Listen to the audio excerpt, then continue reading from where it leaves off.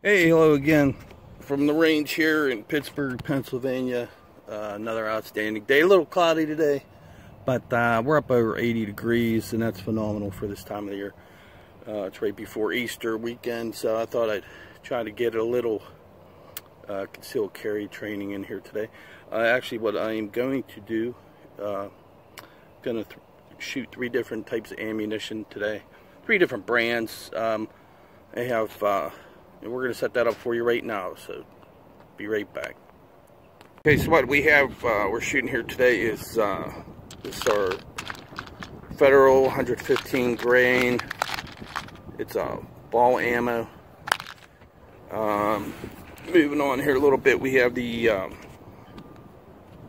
Aquilia it's uh, 115 grain. And also we're going to be uh, firing blazer brass and this is 124 grain. So we're gonna we're gonna see what what happens here how accurate how dependable this ammunition is.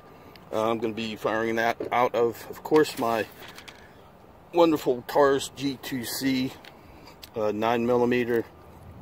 I just wanted to show you that the weapon's safe here. Uh, nothing in the barrel. I went over it with you before I think um, Give me one second here. Be right back.